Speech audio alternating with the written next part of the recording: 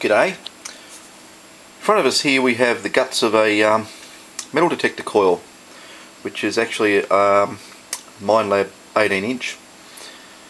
Each side of this uh, coil you got this um, carbon coated paper.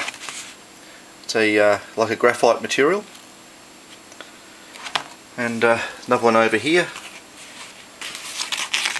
you can see it's got a few cutouts on it what they've done they run very fine wires um, under the uh, tape here to make better connections. That goes to the braid of the feed wire here. This is a, a faulty coil. Actually it, was intermittent and uh, these are the um,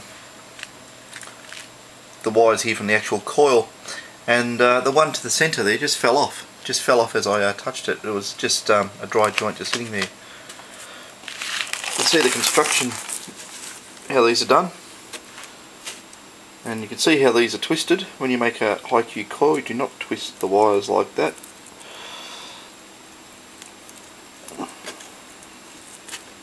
They should be open and run parallel to each other. Something of that nature.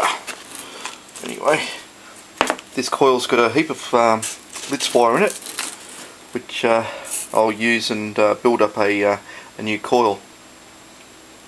I'll probably use part of the um, foam structure here as a, a, strengthener in the in the uh, coil assembly, but uh, yeah, I'll make up a um, a proper shielded coil, prop properly shielded coil. Use a proper word.